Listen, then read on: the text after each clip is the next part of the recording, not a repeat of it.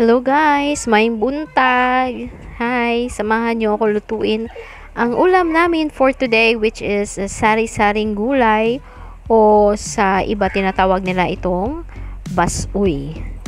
So, eto na. Tayo na. Ito yung mga kakailanganin natin. Baboy, sibuyas, bawang, tsaka chicken cubes. Ayan. Yan lang. Tapos, yung gulay na bili namin, kaya tinatawag tong sari-sari. Kasi, iba-ibang gulay na yung nandyan. Ganito na siya pagbili namin. Mayroon na siyang kalabasa, may opo, okra, sitaw. Tapos, bumili lang ako ng repolyo, yung isang, isang buong repolyo. Kasi, gusto ko maraming repolyo. Masarap kasi yung repolyo eh. Tayo na, magpapainit na tayo ng kawali. At lalagyan lang natin ng konting mantika So, una nating lulutuin dito yung baboy. Ipa-fry natin yung baboy hanggang sa maging golden brown. Okay? Hintayin lang natin mainit konti yung mantika.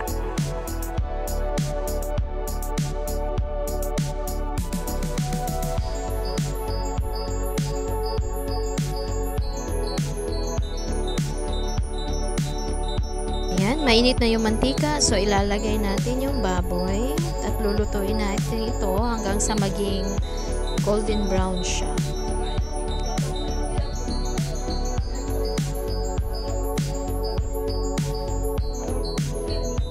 Maglalagay lang tayo ng konting asin.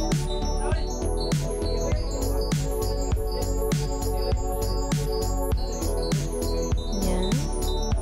So, hihintayin, hihintayin lang natin maging golden brown yung baboy.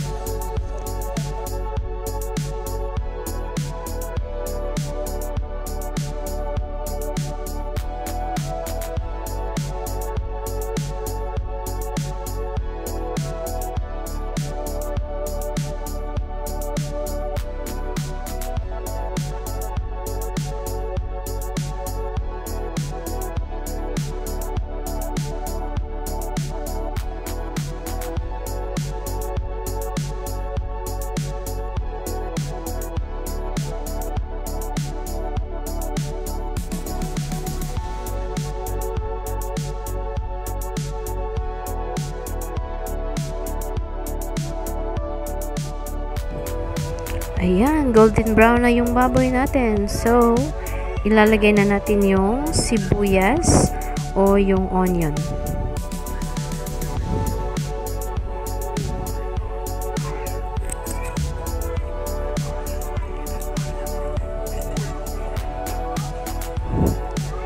Then, ipa-follow natin yung bawang.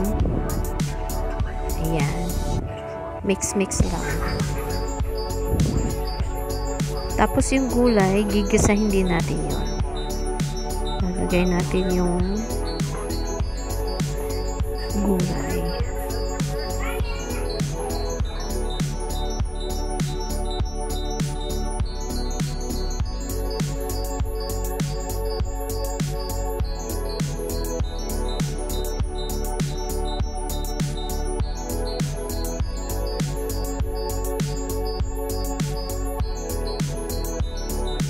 Yan, lalagay na natin yung gulay.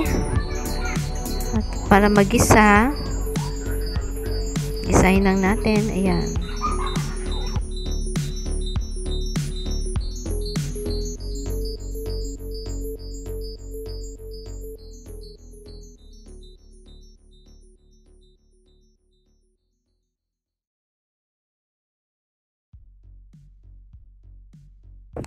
Lalagay lang tayo ng konting asin.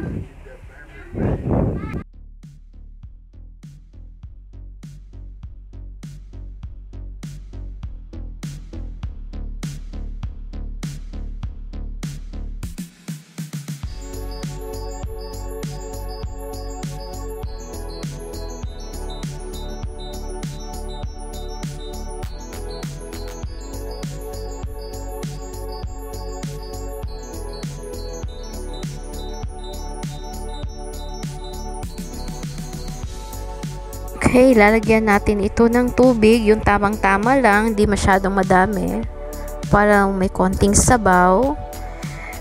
pakukuluin lang natin ng saglit lang din para hindi naman yung sobrang lata yung gulay. Ayan, kumukulo na siya. So, this time, titimplahan na natin. Okay, maglalagay tayo ng konting soy sauce para pangpakulay sa sabaw. Konti lang. Ayan. Tapos, lagyan natin siya ng chicken cubes. Yung chicken cubes na ano, prepare natin kanina. Ayan. Tapos, maglalagay din tayo ng konting patis. So, hindi na tayo maglalagay ng asin. Yung pampalasa natin, uh, bali ano na lang, etong patis at saka yung chicken cubes. Ayan. Okay, so ako hindi ako mahilig sa betchin kasi sumasakit ang ulo ko pag maraming, pag may betchin yung ulam. Kaya hindi ako gumagamit ng betchin talaga. So, hindi lang natin siya, pakukulaan lang natin ng uh, mga ilang minuto hanggang sa medyo lumambot yung kalabasa. Ayan. Tikman natin ng konti. Okay, so hintayin lang natin parang maluto yung kalabasa. Anyways, madali lang namang ano to eh. Maluto yung gulay. Saka natin ilalagay yung repolyo.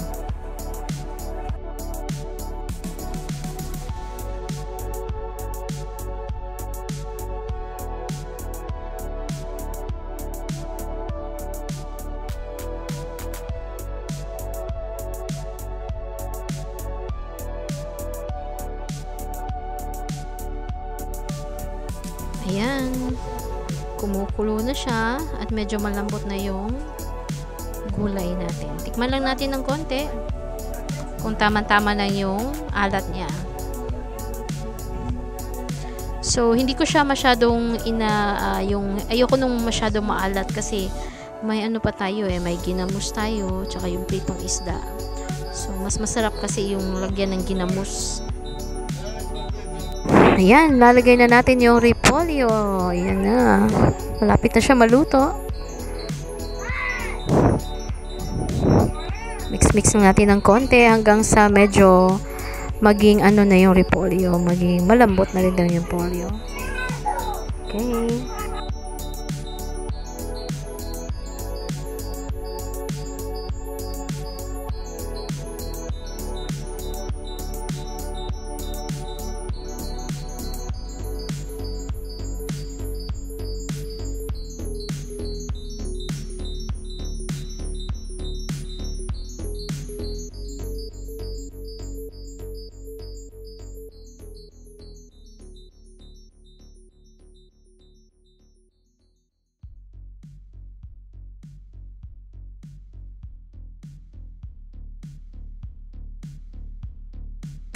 Ayan, lutong-luto na ang ating gulay at ito-transfer na natin ito sa ating serving bowl para makakain na tayo. Let's go!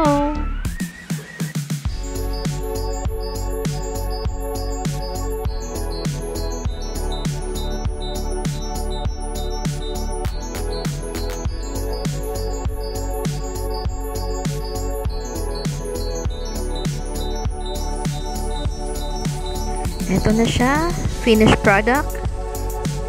So, ayan. Salamat guys sa pagsama sa akin. Nalutuin itong ulam namin na sari-saring gulay. So, eto na kakain na kami. Thanks so much for watching guys. Please don't forget to click on like and subscribe to my YouTube channel. Thank you po.